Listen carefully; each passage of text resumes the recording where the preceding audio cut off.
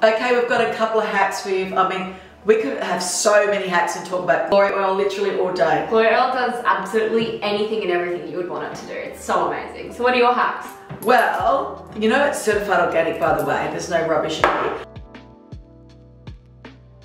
Here's one of my hacks. I don't do shellac anymore because it wrecks your nails. Glory oil on your cuticles and nails. Feel the quality of my nails. Yeah, yours are really tough. It's beautiful. So that a cuticle and nail oil yeah, wow. is one. My next hack, which I absolutely love, is mixing it with our Purple Power mask and popping it, face compost mask, under my eyes for seven minutes. Dark circles, boom, gone. Bags, gone. It's incredible. So please try that one at home and let me know.